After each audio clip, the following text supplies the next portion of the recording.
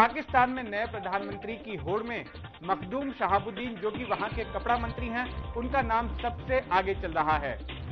सूत्रों के हवाले से खबर आई है कि मखदूम शहाबुद्दीन का नाम प्रधानमंत्री पद के लिए लगभग तय हो चुका है। मखदूम शहाबुद्दीन गिलानी सरकार में कपड़ा मंत्री थे। पाकिस्तान पंजाब के दक्षिणी इलाके सिराइकी के रहने वाले मखदूम शहाबुद्दीन का जन्म 7 अप्रैल 1947 को हुआ था। मखदूम शहाबुद्दीन ने 2008 में रहीमयार खान से चुनाव जीता था। गिलानी सरकार में कई अहदों पर रह चुके मखदूम शहाबुद्दीन, योजना और विकास मंत्री भी रह चुके हैं।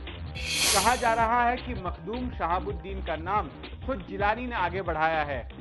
अब ये देखना दिलचस्प होगा कि पाकिस्तान का अगला प्रधानमंत्री कौन होता है।